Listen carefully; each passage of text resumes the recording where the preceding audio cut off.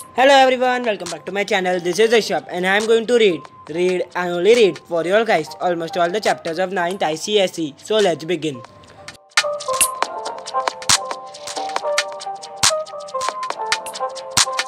So today I am going to read chapter number 4 Hearts and Hands by O. Henry.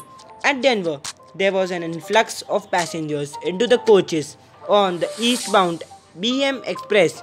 In one coach, there sat a very pretty young woman dressed in elegant taste and surrounded by all the luxurious comforts of an experienced traveler.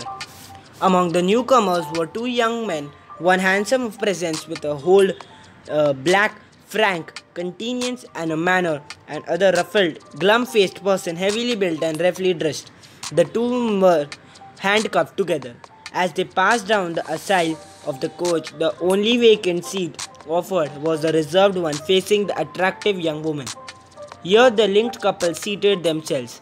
The young woman's glance fell upon them with a distant swift disinterest, then with a lovely smile brightening her countenance and a tender pink tinging her rounded cheeks.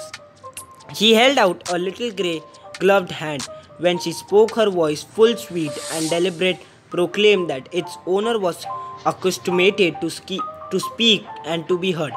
Well, Mr. Easton, if you will make me speak first, I suppose I must. Don't you rec- ever recognize old friends when you meet them in the West?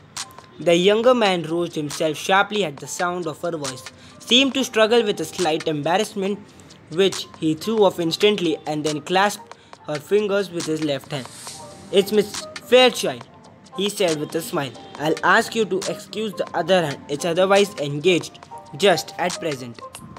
He slightly raised his right hand, bound at the wrist by the shining bracelet to the left one of his companion. The glad, the glad look in the girl's eyes slowly changed to a bewildered horror. The glow faded from her cheeks. Her lips parted in a wage, relaxing distress.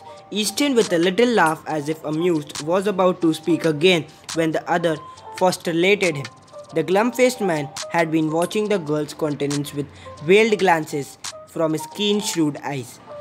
You'll excuse me for speaking, miss, but I see you're acquainted with the marshal here. If you'll ask him to speak a word for me when we get to the pen, he'll do it, and I'll make things easier for me there. He's taking me to Leavenworth prison. It's seven years for counterfeiting. Oh, said the girl with a deep breath and returning color. So that is what you are doing out here, a marshal? My dear Miss Fairchild, said Easton calmly, I had to do something. Money was a way of taking wings onto itself, and you know, it takes money to keep step, step with our crowd in Washington.